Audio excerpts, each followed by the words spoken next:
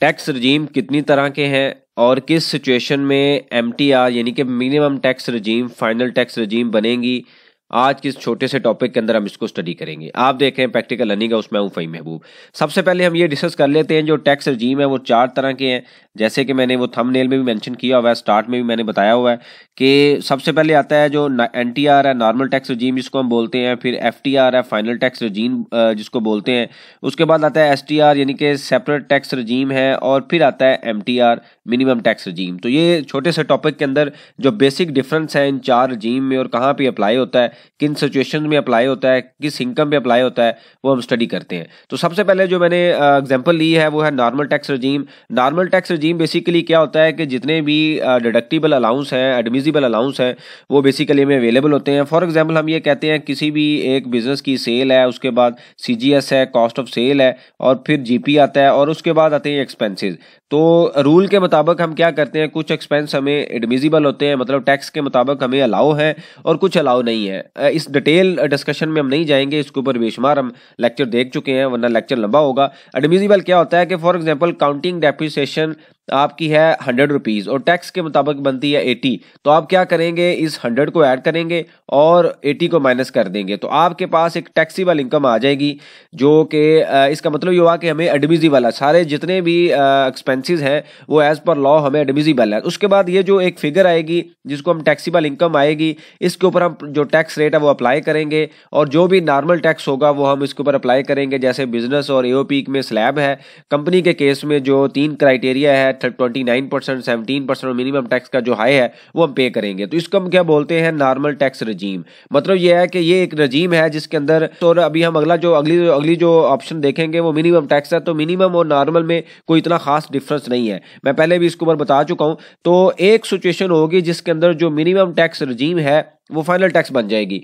अब क्या है कि अगर आप एक लिस्टेड कंपनी नहीं है और मैन्युफैक्चरिंग कंपनी नहीं है अदर देन डैट है तो सारे का सारा जो टैक्स आपका विद होल्डिंग टैक्स डिडक्ट हो रहा है, वो क्या आता है कि ये बिज़नेस के केस में बात हो रही है डिस्ट्रीब्यूटर होलसेलर और सारे ये जो रिटेलर है, उस केस में मैं डिस्कशन कर रहा हूँ। इवन पीवीटी कंपनी भी है, लेकिन वो अगर ट्रेडर है डिस्ट्रीब्यूटर है तो उस केस में भी वो क्या है मिनिमम टैक्स रजीम में फॉल करती है, अगर वो सप्लाई ऑफ़ गुड्स के केस में या सर्विस के केस में बिज़नेस कर रही है।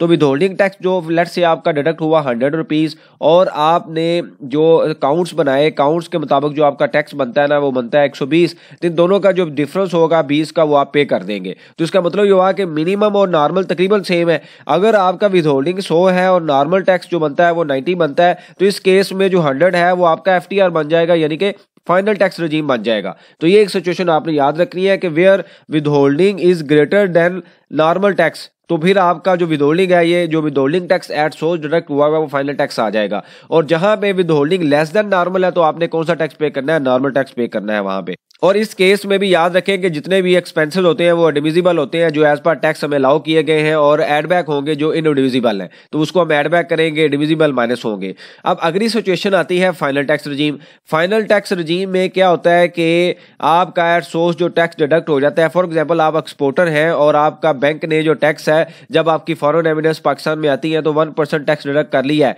तो ये आपका फाइनल टैक्स होता है। आप काउंट्स बनाएँ या ना बनाएँ, जो टैक्स आपका होगा, वो क्या रहेगा? फाइनल टैक्स ही रहेगा वन परसेंट। फॉर एग्ज़ाम्पल आपकी सौ की सेल थी कॉस्ट आपकी सेवेंटी थी और थर्टी आपका जीपी था, आपके एक्सपेंसेस दस थे और ये आपका ट्वेंटी प्रॉफिट था। इसके ऊपर आपने टैक्स रेट अप्लाई नहीं करना क्योंकि आपका जो टैक्स है, वन परसेंट फाइनल टैक्स है और फाइनल टैक्स रजीम में है और इसमें क्या आता है डिविडेंड आते हैं प्राइस बाउंड आते हैं। इस तरह की और भी कुछ सिचुएशन है जिस केस में जो नॉर्मली इसके अलावा जो पेट्रोलियम डिस्ट्रीब्यूटर है, वो इसमें फॉल करते हैं। तो सारे के सारे बिज़नेस किसमें फॉल करते हैं? फाइनल टैक्स में। अब आता है सेपरेट ब्लॉक ऑफ़ सेपरेट जो टैक्स रजीम है इसको हम एसटीआर बोलते हैं। ये तकरीबन जो रजीम है ये ख़त्म हो चुकी है एक्सेप्ट कुछ केसेस में जैसे कोई आप शेयर कंपनी के परचेज करते हैं सेक्शन थर्टी सेवन ए के मुताबिक तो आपको इसके अंदर जो आ, कुछ एक्सपेंसिस हैं वो अलाउ किए गए हैं। फॉर एग्ज़ाम्पल आपने कोई गेल कैलकुलेट करना है तो हम क्या करते हैं सेल यानी कि जितनी कि आपने शेयर सेल किए और जितनी आपकी कॉस्ट है और इसमें से कोई इंक्रीमेंटल कॉस्ट है कोई भी इंसिडेंटल कॉस्ट है शेयर परचेज करने की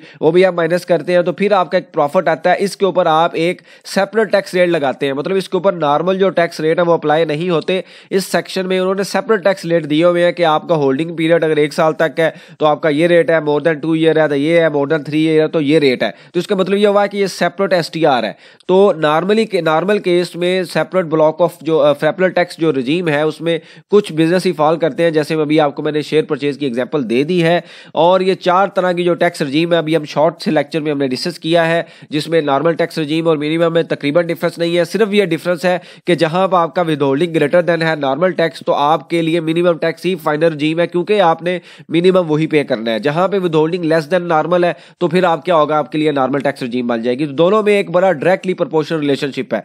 फिर आता है फाइनल टैक्स रजीम मैंने एग्ज़ाम्पल दी है एक्सपोर्टर है प्राइस बोर्ड है, अगर आपको कोई मिलता है डिविडेंड आप डिविडेंड अगर आप रिसीव कर रहे हैं, आप पेट्रोलियम सेक्टर में है और एज ए डिस्ट्रीब्यूटर या पेट्रोल पंप ऑनर्स हैं तो फिर भी आप इसमें फॉल करते हैं। फिर आता है, फिर हमने एक पढ़ा S T R separate tax regime जिसके अंदर मैंने एक एग्ज़ाम्पल दिया कि अगर आप शेयर परचेज कर रहे हैं तो वहाँ पर आपको वैसे तो टैक्स क्रेडिट वगैरह कोई भी सिचुएशन किसी सिचुएशन में अलाउ नहीं है। लेकिन यहाँ पे आपको सेल माइनस कॉस्ट यानी कि जितने के आपने शेयर सेल किए और जितने के परचेज किए प्लस इसमें कोई बाइंग कॉस्ट है तो माइनस करें, जो प्रॉफिट आएगा उस पर होल्डिंग पीरियड के मुताबिक आप टैक्स रेट अप्लाई करेंगे और आपका टैक्स कैलकुलेट हो जाएगा। और वो जो टैक्स रेट है, वो नॉर्मल नहीं है, वो सेपरेट इस सेक्शन के लिए सेपरेट दिए गए हैं। तो ये छोटी सी एक क्लैरिटी थी, जिसके ऊपर काफ़ी एग्जाम्पल्स आती हैं क्वेश्चन आते हैं।